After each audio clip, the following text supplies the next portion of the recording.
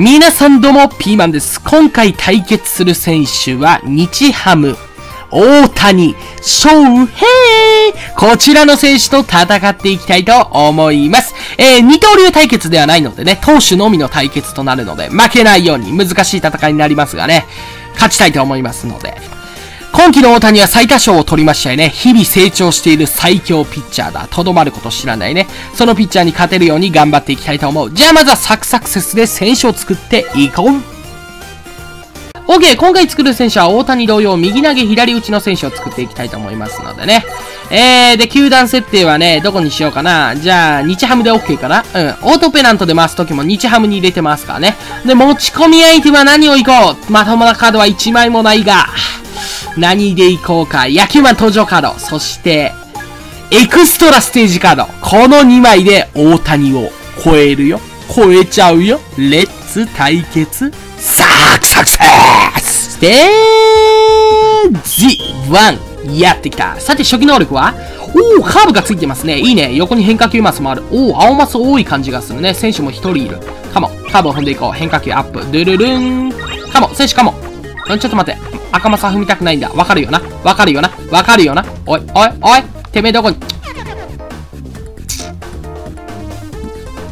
殴っていいですかねわかんねえのかなこっちの言いたいこと。うーん、君はどこまで逃げるんだもう出てこなくていい。もう会わない。君とは会わない。来るな、来るな、臭い。お前臭いわ。お前臭いから来なくていい。もう君とは会わない。俺は決めた。そう決めた。来ないのなら来るな。来ないのなら来るな。当たり前のことだよ。もういい。体力回復、ありがとう。ハテナマスだけでは信用できるのは、俺はもう人は信用しない。人なんていなくなればいいんだ。申し訳ない。頭がおかしくなっちゃいましたね。いや、非常に怒りを覚えますよ。人が近くに寄ってるのを逃げるやつ。いるいるいる。さて、でも君は来てくれるよね。えー大丈夫だよね。はい、ありがとう。よく来てくれた。おー、いいね。スタミナ4上がりましたね。素晴らしい。おー、変化球ます。そして、これ、宝箱取っていかないとね。うん。おー、急速6アップ。ほんで、シンカーが追加されましたね。おー、これもなかなかいいよ。斜め変化の球はね、このパープロではかなり有効ですから。ありがたい。体力超回復。ダラララランランランラララン。ありがとう。なんだ今の BGM は。おー、無地パネルが輝き出した。わーわーわー、変化球マス、プラスおにぎりマス。シャッフルマス多くない？全部でこれ何個あるんだ ?6 つあるぞ、みんな。持ってたカード。あー、野球マン登場カード落としてしもうた。オーマイがダメ。何落としとんねん。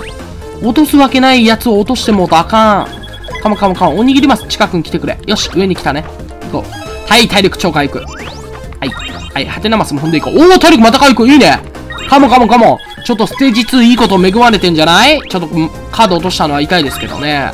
なんでカード落ちたんだ？落とさないだろ。俺はポケットの大事に入れておく派だからね。落ちるわけがないんだよ。ちゃんとチャックもしている。わからない。原因は不明だ。よし、行こう次のステージ行きましょう。ステージ2でちょっと能力を大幅上げることができたんじゃないかな。強くなった感半端ねえわ。ステージ3行こう。残念ながら野球マンはこれで必ず登場するとは、ね、限らなくなりましたけど。急速3アップ。特殊能力が欲しいんだよ、俺は。特殊能力をください。翼をください。この大空に翼を広げ、飛んで行きたいよ。カモン。おにぎります。うーん、マイナスマス踏むの痛い。あれ見て、フォーク。落ちる球の変化量。変化球あるね。絶対取りに行かんと。行こう。もういいや。コントロールに、よかったよかった。マイナスマスでね、変化球が下がると一番最悪なんだ。お、球持ちがついたね。よしよしよし。特殊能力の球持ちがつきました。コントロール13アップ。いいね。で、変化球何これ ?V スラいいねカーブに、シンカーに V スラ。おいおいおいおいおいおいおいおい。理想とする最高のピッチャーができているぞ。おい、大谷なんて簡単に超えれるぞ。あー、マイナスマス踏みたくないな。やめてくれ、踏みたくないのに。ただ遠回りしないとダメなのか、体力もったいないけど。まあいいか、踏もうか、ここは。はい、変化球下がった。ありがとう。やっぱ踏んじゃダメだね。でも踏まないとしゃあないわ。踏まないと他からいけないんだ。ああ、最悪だ。変化量下がっちゃったよ。他にもっと下げるものがあるだろう。なんでこれを下げてくるんだ嫌がらせかやめてくれ。またマイナスマス。またかよ。コントロール3ダウン。はい、体力ダウン。ありがとう。地獄の日々がやってきたようだ。はい、ここから地獄の日々始まるよ。はい、変化球ダウン。だからさ、もうマイナスマス1回踏んだぐらいで下がらないでくれよ。もっと下がるものが他にあるだろう。このブスはどっちに来るんだ？カモン。はい、来た。ありがとう。ブスはめ成功。どこに逃げる？カモカモカモ。来い来い来い来い来い。はい、特製ドリンク。それだけ置いて逃げろ。お前そっちが本体なんだ。お前の本体は特製ドリンクだ。どこに行く？はい、かも。いいね。矢抜きスタミナ4アップ。スタミナ特化型選手ができているぞ。麻酔伸びし。お、野球マンか。野球マンそっちか。うん、会いに行きたいが無理だ。諦めよう。これ諦めよう。体力2、2のみ、プラス2のみ、ありがとう。2しか回復しなかったね。2なんだ。あ、そうなんだ。2のみね。オッケーオッケー、文句はないですよ。さて、ステージ5だ。今回はエクストラステージカードがありますからね、ステージ5でクリアにならないわけだ。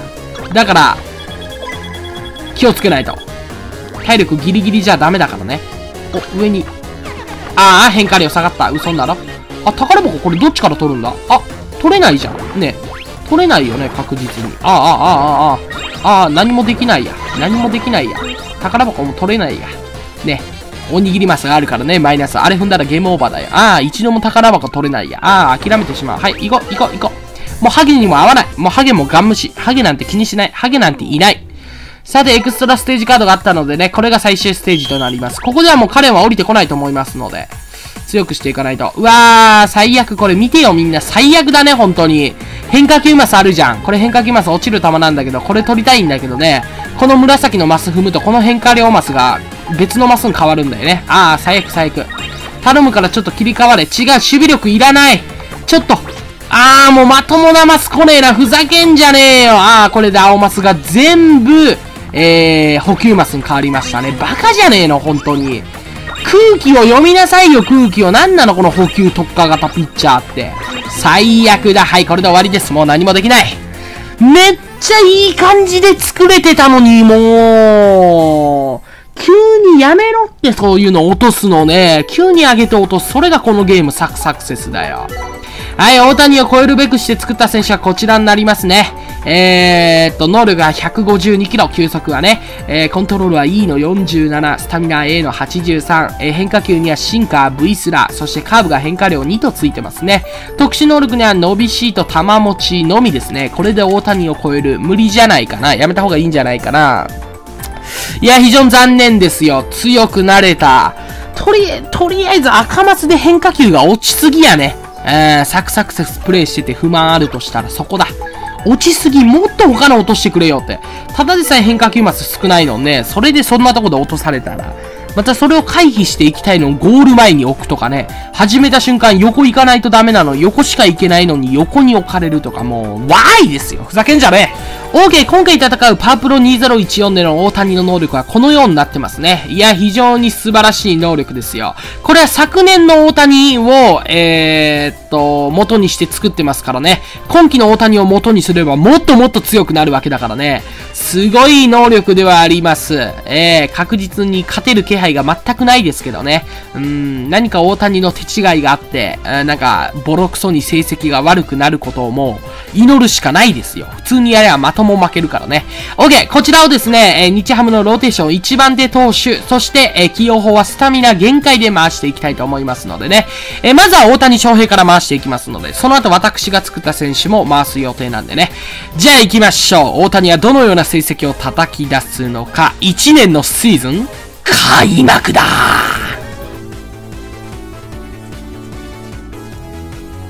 1年のシーズンが終了いたしました。大谷翔平、今季はどのような成績を叩き出したのか。防御率2点台とかならもう無理。3点台、4点台なら可能性はあるが、あの能力でそれも考えづらいけど、俺は信じよう大谷がヘマをしてるということをね。じゃあ見ていきましょう。今季の大谷の成績は。あープンダダダンどんな感じ?うーん、無理やね。終わりました。はい、無理無理無理無理。帰ろう帰ろう帰ろう。ダメ。お腹痛い。お腹痛いから今回はやめてもいいかな、みんな。そう思いたくなってきたね。はい、もう、見るまでもなく無理だと思いますけど、一応見ていきましょう。防御率は1.95、えー、東京海は189回3分の1を投げて、勝率は7割2分7厘、えー、16勝2敗と、16勝6敗となってますね。登板は26試合に投げて、完封が1、関東は2、えー、奪三振は209個、三振率は9.93、えー、フォアボールは57個、基本塁打が7本、えー、被安打が146安打、えー、失点が46、自責41、防御率は1.6、07となってますね。うん。これはもうパリーグ最強。いや、日本を代表する最強ピッチャーですね。タイトルの方は取れてるのかな？防御率ランキングではリーグ2位、イニングではリーグ6位ですね。ほんで、勝利数ではリーグ3位となってます。奪三振は？あ、こちらもリーグ2位なのか。残念、今回の大谷はタイトルの方は取れてませんね。不運だね。かわいそうだね。この成績でタイトル取れてないのか。金子千尋とかいう上には上がいるね。恐ろしいものだ。いや、非常にね、本当に日本を代表するエースみたいな成績を叩き出して、僕は今、ションベンとうんこが漏れているんですけどね、衝撃で。じゃあ、お次は私が作った選手の方を回していかないとね、大谷を超えることはできるかな ?1 年のシーズン、開幕だ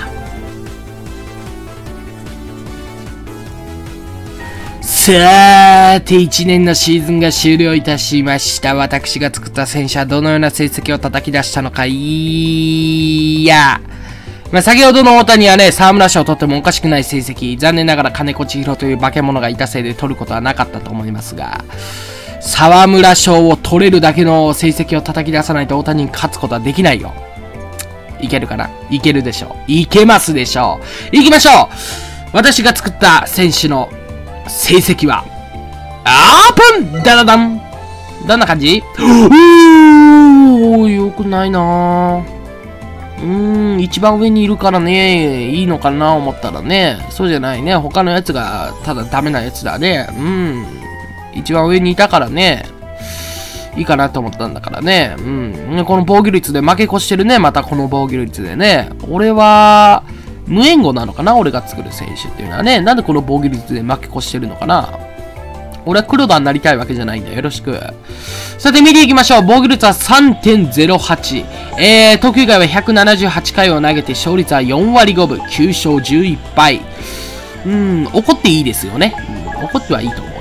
えー、登板は26試合に投げて、完封こそは0だが、完投は3と。こちら大谷上回ってますね。奪三振は133。えー、三振率は6.72。ほんで、フォアボールが61個。非本塁打が16本と多いね。えー、被安打143で失点63、自責61で、ウィップは1.15と、うん、もうこれは比べるまでもないですね。大谷と比べてみても、えー、どう見ても負けてますね。はい。勝ってる要素なしでございます。ありがとうございましたでございますよ。非常に残念ですね。うーん。残念、残念、残念ですですよ。うん、悲しくなってきたね。涙がポロリと流れてきたのは気のせいかな。まあ、次回ないや、僕はね、大谷に勝てなかったよりも、この防御率で負け越してることにちょっと掘りたいかな、本当に。西ハムジは何をしとるんだと、ちょっと野手の席見ていこうか野手、陽大館が3割1分5厘、チーム、えー、最高 OPS は、そらね、陽大館の8割7分2厘が最高 OPS で、その他が7割台あかんでしょ。7割2人しかいないし。そらね、こんなチームおったら負けるわ。おお打つ方では見てよ、これ見てよ。打ってるね。打率6割ですわ。打数は少ないですけどね。素晴らしいね。はい、今回はもう、比べるまでもないね。はい、私が作った選手と大谷を比べたら、もう100人中150人の方がね、えっ、ー、と、大谷の方が上だと言うでしょう。もしかしたら僕の方が上だというね、僕が作った選手の方が上だという方もいるかもしれない。そういう方がいたらコメント欄に残してくれ。嬉しいよ、俺は。はい、てなわけで今回の実況はこれにて終わりだ。残念ながら大谷翔平に勝つことはできなかったね。ただね、今回は本当に惜しかった。途中まではいい選手作れてた。あのままいい方向に転がってたら大谷超えも十分にあったんじゃないかな。うん。次回もまたね、別の選手に挑戦していきたいと思います。えー、バッターか投手の方かわかりませんが、まずまた投手を作るとしたらね、えー、その選手に勝つというよりかは、負け越さないようなピッチャーを作りたいかなと。この防御率で負け越してるのは本当に僕は許せない。もう、チームの選手みんなディスりまくってやる。そいつ以外はね。そうしたいと思いますので、負け越さない。そして勝てるような選手を作っていきたいと思いますので、次回もよろしく。じゃあグバイまた会おうぜ。